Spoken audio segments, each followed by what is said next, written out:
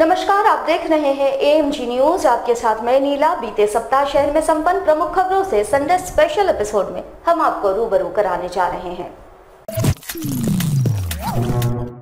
Railway में निजीकरण के खिलाफ एवं अन्य मांगों के समर्थन में टाटा नगर स्टेशन एवं चक्रधरपुर मंडल के लगभग साढ़े पाँच हज़ार लोको पायलट 24 घंटे भूखे रहकर अपने कार्य का निष्पादन किया। दक्षिण पूर्व zone all India loco running staff association के बैनर तले इन्होंने उपवास रहकर अपने कार्य को किया। रेलवे में निजीकरण समेत पेंशन स्कीम में सुधार व टी रेट को राष्ट्रपति द्वारा अनुमोदित, आरएसी 1980 के फॉर्मूले के तहत निर्धारित किए जाने। इन सभी मांगों को लेकर केंद्रीय कमेटी के आह्वान पर पूरे देश में लोको पायलट द्वारा 24 घंटे तक उपवास रहकर कार्य किया गया।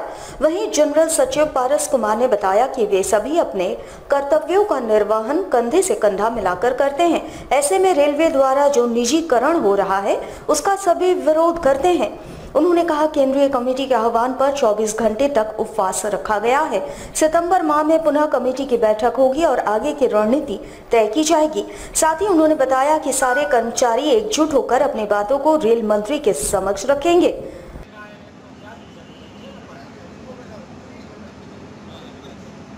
कमेटी के आह्वान पे उपवास पे बैठे हैं, भूख हड़ताल नहीं, ये उपवास है, पूरे भारतवर्ष के लोको रनिंग स्टाफ स्टाफ आज उपवास करके रेलवे बोर्ड का ध्यान अपनी तरफ़ आकृष्ट कर रहे हैं। हमारा जो मुख्य मांग है कि रेलवे का प्राइवेटाइजेशन और निगमीकरण न हो सरकारी हमारा जो रेलवे के कर्मचारी द्वारा ही सारा काम कराया जाए और रेल का विकास हम लोग लगातार कर रहे हैं। दिन रात मेहनत करके कंधा से कंधा मिला के प्रशासन का और इसको कायम रखा जाए। और दूसरा जो हमारा डीए रेट है किलोमीटर रेट उसको राष्ट्रपति महोदय द्वारा अनुमोदित जो आर एस सी का फॉर्मूला है, उसके तहत दिया जाए। और तीसरा एनपीएस जो न्यू पेंशन स्कीम है, उसको ओल्ड पेंशन स्कीम किया जाए। वहीं चांडिल रेलवे स्टेशन पर उपवास में रहकर कार्य कर रहे एक रेल कर्मचारी अंकित कुमार अचानक कार्य के दौरान ही बेहोश होकर गिर पड़े। वहाँ के स्थानीय कर्मचारियों ने उन्हें त्वरित रूप से चांडिल रेल अस्पताल पहुँचाया जहाँ प्राथमिक इलाज के बाद उन्हें दूसरे ट्रेन से टाटा नगर रेल अस्पताल पहुँचाया गया जहाँ फ़िलहाल उनका इलाज चल रहा है।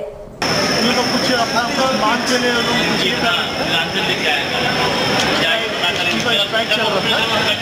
उनका चक्कर मारा चक्कर नीलांचल में आए हैं। वो चांदी अभी रेलवे गुरु पूर्णिमा को लेकर शहर में कई कार्यक्रमों का आयोजन किया गया। वहीं राज्य के खाद्य आपूर्ति मंत्री सरयू राय के आवास पर रामाशा पूजा का आयोजन हुआ, जहाँ मंत्री समेत पूरे परिवार के लोग पूजा अर्चना में शामिल हुए वैसे रामाचा पूजा में भगवान राम की आराधना की जाती है। साथ ही उनके जितने सिपाह सलार हैं, उनकी भी पूजा की जाती है। मंत्री सरयू राय के द्वारा ये पूजा वर्ष 2006 से आयोजित की जा रही है, जिसमें राज्य के मंत्री, विधायक, क्षेत्र की जनता पूजा में शामिल होते हैं। रामाचा पूजा के लिए बेगूसराय से पुरोहित को बुलाया गया है। साथ ही स्थानीय गुरुदेव के द्वारा पूजा को संपन्न कराया गया। 17 जुलाई को महाप्रसाद का आयोजन मंत्री आवास के सामने मिलोनी हॉल में किया जाना है।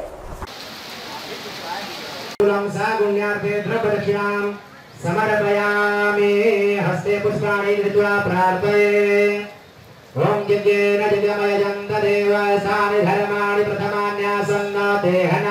महिमानः सचन्द्रपुरवे साध्याः ॐ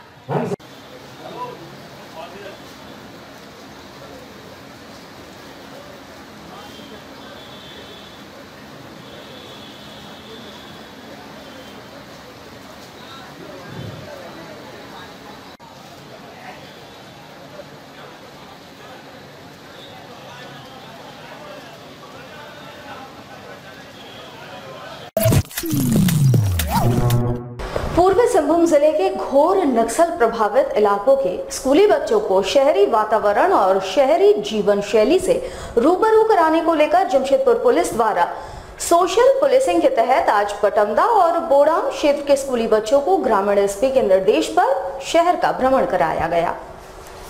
यहाँ स्कूली बच्चों को शहर के साथ कुल्हान की नहीं, झारखंड, बिहार और बंगाल का सबसे खूबसूरत पार्क जुबली पार्क और इसमें बने जूलॉजिकल पार्क का भ्रमण कराया गया, जहाँ पहुंचकर बच्चे काफ़ी खुश नज़र आ रहे थे। बच्चों ने जिला पुलिस के प्रयासों की सराहना की एवं फोकस एरिया के बच्चों के हित में उठाया गया ये कदम बताया। स्कूली बच्चों को लाने वाले शिक्षकों ने भी सोशल पुलिसिंग के तहत नक्सल प्रभावित इलाकों के बच्चों के हित में उठाया गया। कदम इसे बताया। वहीं छात्रों ने जिला मुख्यालय पहुंचकर ज़िले के वरीय आरक्षी अधीक्षक से मुलाकात भी की। वरीय आरक्षी अधीक्षक ने सभी छात्रों से बातचीत की और उनका मनोबल बढ़ाया। बातचीत के क्रम में उन्होंने कहा कि ये ऐसे छात्र हैं जो कभी शहर आए ही नहीं थे। इसमें आगे बढ़ने की ललक है और आगे चलकर ये शहर में रहकर अपने भविष्य को बेहतर बना सकते हैं।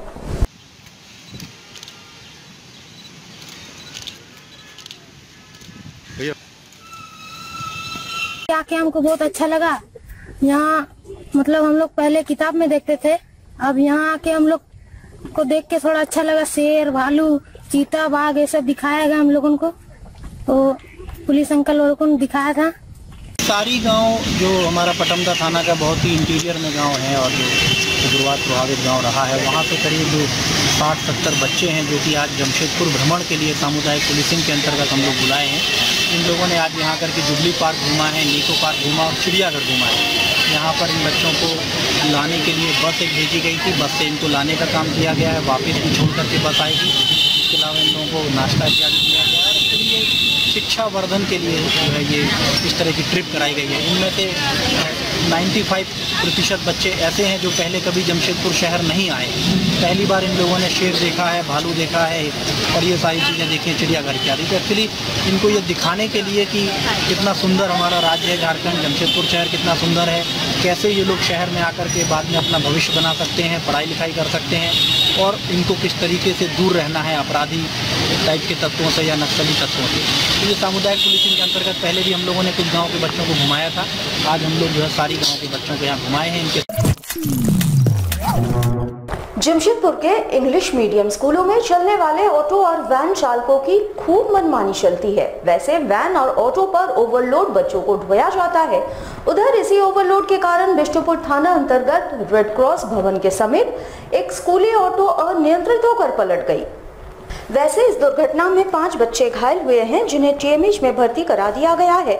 ये सभी बच्चे मोतीलाल नेहरू पब्लिक स्कूल के थे। आपको बता दें कि स्कूल में एग्ज़ाम चल रहा है। परीक्षा के बाद छुट्टी हुई तो ऑटो चालक इन बच्चों को बिठाकर मानगो की तरफ़ जा रहे थे। तभी रेड क्रॉस भवन के समीप गाड़ी में एक छिपकली निकली और उधर छिपकली एक छात्रा के पैर पर जा गिरी। फिर क्या था? छात्रा डर गई और छात्रा के डरने के कारण ड्राइवर अनियंत्रित हो गए। और स्थानीय लोगों ने आनंद फानन में सभी घायलों को इलाज के लिए टीएमएच में भर्ती करा दिया है। उधर घायलों में से दो की हालत चिंताजनक बनी हुई है। हालाँकि ओवरलोड ऑटो और वैन पर नकेल कसने को लेकर प्रशासन कई बार अभियान चला चुकी है, लेकिन स्थानीय नेताओं और ऑटो चालकों की मनमानी के कारण अभियान सफल नहीं हुई और अंततः इसका खामियाजा बच्चों को भी भुगतना पड़ रहा है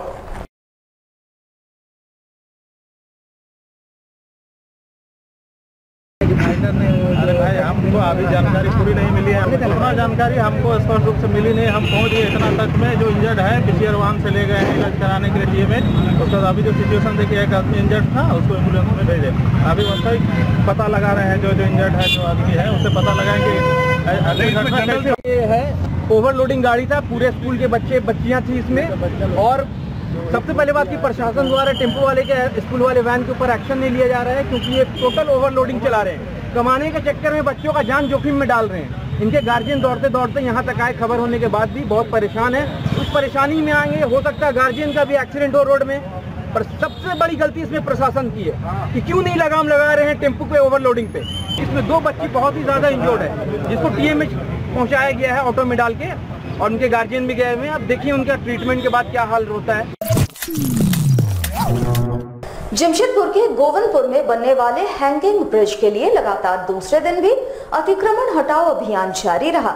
बड़ी संख्या में पुलिस बल की तैनाती में अभियान को चलाया जा रहा है। स्थानीय लोगों ने इस अभियान में जिला प्रशासन पर पक्षपात का आरोप लगाया।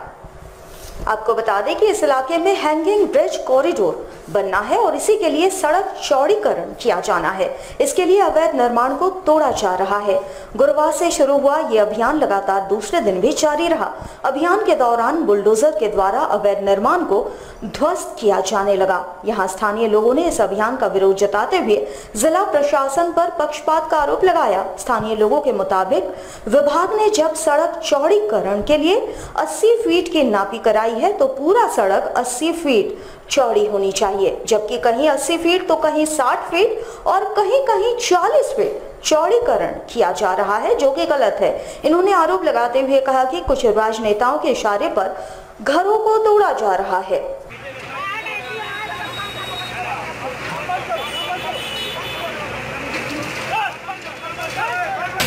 अगर नीचे साठ फीट तो रोड बनने का कोई मतलब हाईवे बनने का कोई मतलब नहीं है। अगर बन रहा है तो सीधे नीचे साठ किया तो ऊपर भी साठ जाना चाहिए। यही मेरा निवेदन है जिला परिषद से। इसमें भेदभाव एक है कि भाजपा के लोगों को बचाया जा रहा है। भाजपा के लोगों के जो घर है उसको बचाया जा रहा है। और आम व्यक्ति गरीब आदमी के लोगों को घर को उजारा उजारा जा रहा है।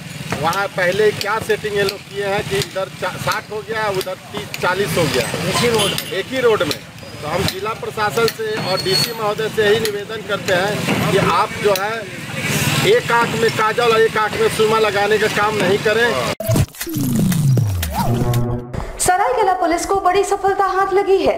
चौका पुलिस ने गुप्त सूचना के आधार पर चार नक्सलियों को गिरफ़्तार किया है। गिरफ़्तार नक्सलियों के पास से लूटे गए सामान गोली बरामद हुए हैं।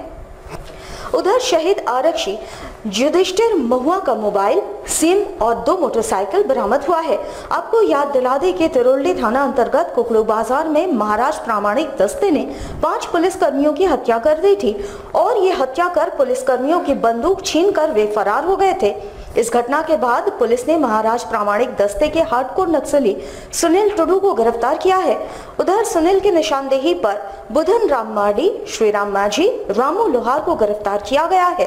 वैसे ये सभी नक्सली महाराज प्रामाणिक दस्ते के सदस्य हैं। वहीं सरायकेला में हुए चारों नक्सली घटनाओं में सुनील टुडू शामिल था। उधर सरायकेला एसपी ने दावा किया है कि बहुत जल्द बाकी नक्सली भी पुलिस के गिरफ्त में होंगे।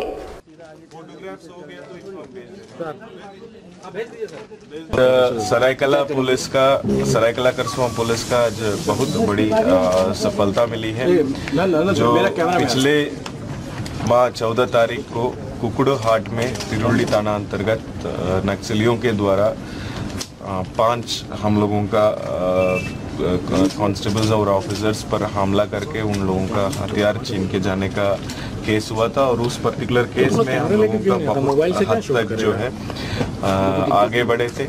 और इसमें हम लोगों का जो सूचना तंत्र था उसके आधार पर हम लोग का सूचना इकट्ठा करते आए। तो उसमें हम लोगों को पता चला कि ये लोग इच्छागढ़ और चौका की तरफ़ कुछ लोग हैं हैं करके।